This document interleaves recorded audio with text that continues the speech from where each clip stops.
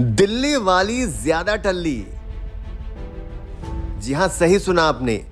दिल्ली वाली ज़्यादा टल्ली।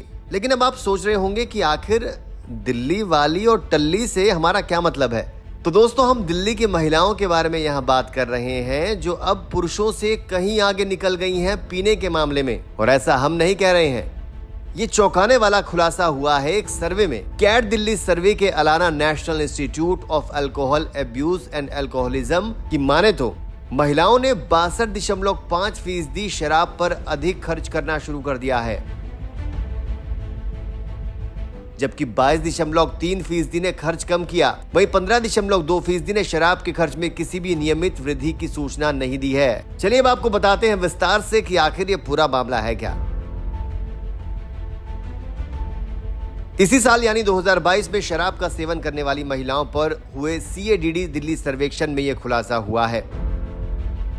इसमें 5000 महिलाओं को शामिल किया गया था और जो सामने आया है, उनमें पाया गया कि महिलाओं में शराब के उपयोग में तेज़ी से बढ़ोतरी हुई है।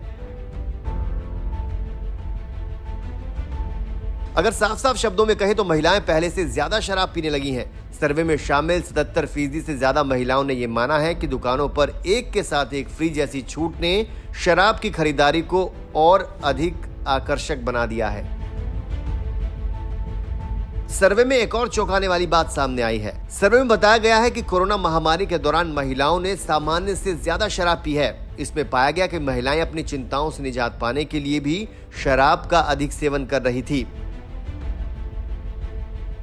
जो पुरुषों द्वारा अनुभव की जा रही चिंताओं के चलते शराब की खपत के अनुपात से अधिक था।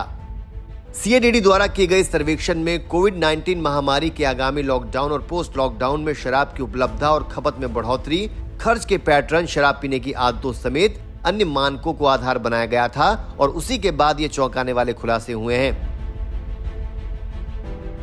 इतना ही नहीं दोस्तों, इस सर्वे में यह भी बताया गया है कि सिर्फ़ तीन दिन में ही दिल्ली वाले 100 करोड़ से ज़्यादा की शराब गटक गए हैं। ये हम बात कर रहे हैं दिवाली के तीन दिन पहले की। जी हाँ दिवाली के तीन दिन पहले शराब की इतनी ज़बरदस्त बिक्री हुई है कि सभी रिकॉर्ड शराब की बिक्री ने तोड़ दिए।